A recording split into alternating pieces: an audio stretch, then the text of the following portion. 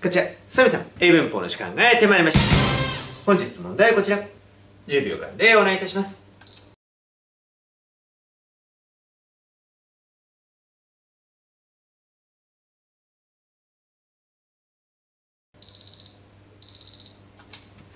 さあ、できましたか？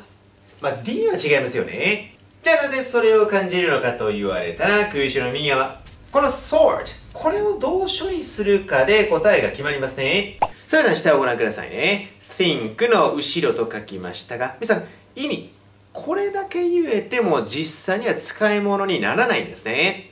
まあ、せめてこの3つぐらいは後ろの形が言えると OK。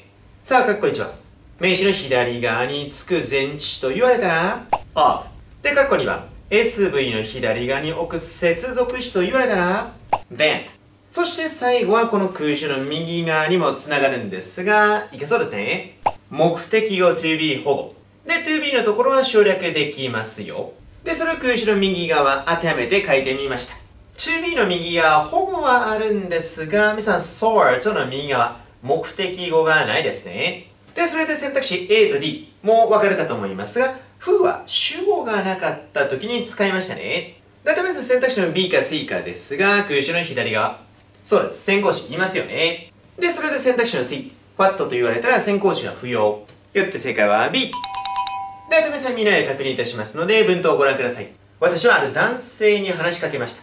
で、どんな人なのかは空詞の右側。私が自分の弟だ。と考えた男性に話しかけました。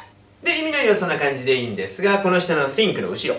後ろの形をできれば覚えていただけるとですね、かなり応用が効きますので、おすすめでございます。では、画面を書き換えますね。復習しやすいような画面に書き換えました。スクリーンショットする方はどうぞ。だいたい画面の右側ですね。皆さんの指で隠していただいて。で、丸1番から丸3番。そこに入る動きをスラスラ言えるよう重ねさせていただけますと幸いです。